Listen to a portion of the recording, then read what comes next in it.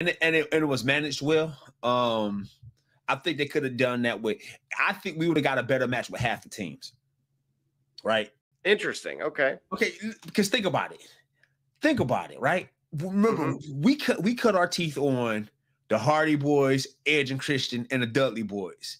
You just had yep. six of those guys. I mean, they they named table ladders and chairs because of them. You could less is more. Okay, and this th- this match def- def- defined that right because the moments where everyone was removed were the moments that were more memorable. Okay, I'll be honest with you. Um, me coming back to the scene of WWE, bec- returning to the universe as a, as a viewer, I can't remember that team that won that, that claimed the first uh, titles.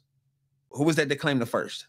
Uh, that was the the A Town Down group with uh, New Catch Republic, right? Yep, yep. They won the they won the SmackDown titles, right? Yes, they got the SmackDown titles. Okay. Correct. And then and then awesome right right awesome truth. Correct. Finally had his moment. Finally well, and moment. and again there was some chaos there if you remember where uh, they tried pinning someone. Oh yeah, yeah. R-Truth delivered on being aloof again. Like it's you it's you know it's coming, but it's just it's it's hilarious, man. It's hilarious